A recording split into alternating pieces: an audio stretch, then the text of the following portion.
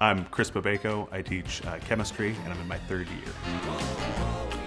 I think the college that you choose has to fit. I see my students a lot, day after day, class after class, so I get to know them. They get to know me, so it's constantly pushing me to change how I'm teaching, to improve how I'm teaching. If you want to have a group of people who are very concerned with helping you, helping you learn, and helping you grow as a person, then Columbia College is a great place.